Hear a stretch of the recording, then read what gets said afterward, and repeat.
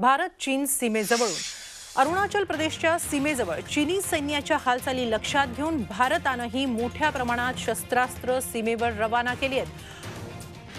बुमला इथल्या फॉरवर्ड पोस्टवर बोफोर्स तोफा तैनात करण्यात आलेल्या आहेत. याखेरीज हेरॉन आय ड्रोन लढाऊ हेलिकॉप्टर रुद्र ध्रुव या भागात तैनात करण्यात आलेले आहेत. विशेष म्हणजे तवांग बॉर्डरवर प्रथमच एका महिला कमांडरच्या नेतृत्वात रेजिमेंट तयार कर- तैनात करण्यात आलेली आहे. कॅप्टन सरिया अब्बासी यांच्या अधिपत्याखालील या दलाकडे अपग्रेडेड एल सेव्हन्टी तोफा देण्यात आल्या प्रत्यक्ष नियंत्रण रेषेवर चीनकडून मोठी जमवाजमव होत असताना त्याला जशास तसं उत्तर द्यायला भारतीय सैन्यही सज्ज असल्याचंच या तयारीतून दिसतंय.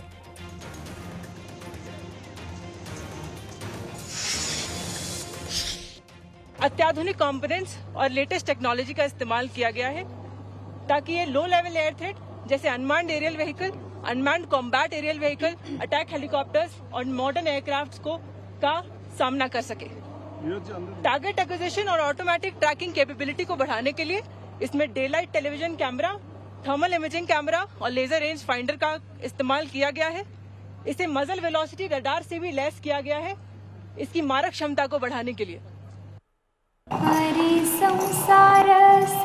बहिणाबाईंची जात्यावरची ओवी म्हणजे?